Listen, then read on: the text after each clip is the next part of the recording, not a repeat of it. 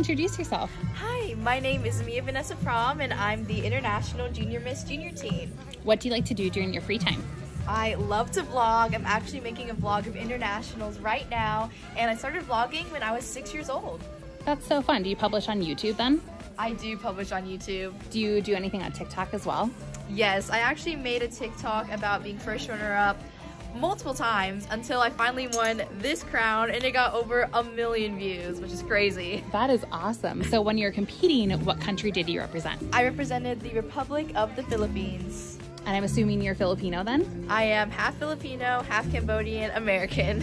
What's a fun fact about the Philippines that we wouldn't normally know? Well, the Philippines is made up of over 7,000 islands, and as a Filipino folk dancer, we can balance glass on our heads and on our hands. Well, that's good practice, especially for balancing the crown. Most definitely. You're well practiced. Thanks for chatting. Thank you. Bye bye.